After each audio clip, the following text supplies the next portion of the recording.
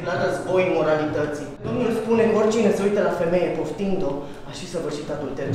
Dar sunt mama lui, e normal să nu spună ce are. Trebuie să ne ajutați. Un lucru bun să fie în mâna lui Dumnezeu.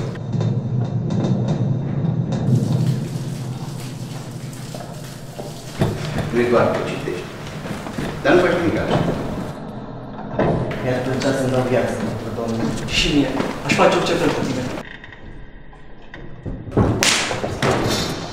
În Biblie scrie că pe cine iubește Domnul îl ceartă și biciuiește pe tot fiul pe care îl primește. Nu cruța pe feciorul tău de pedeapsă, chiar dacă îl bați cu varga, nu moare. Săturat.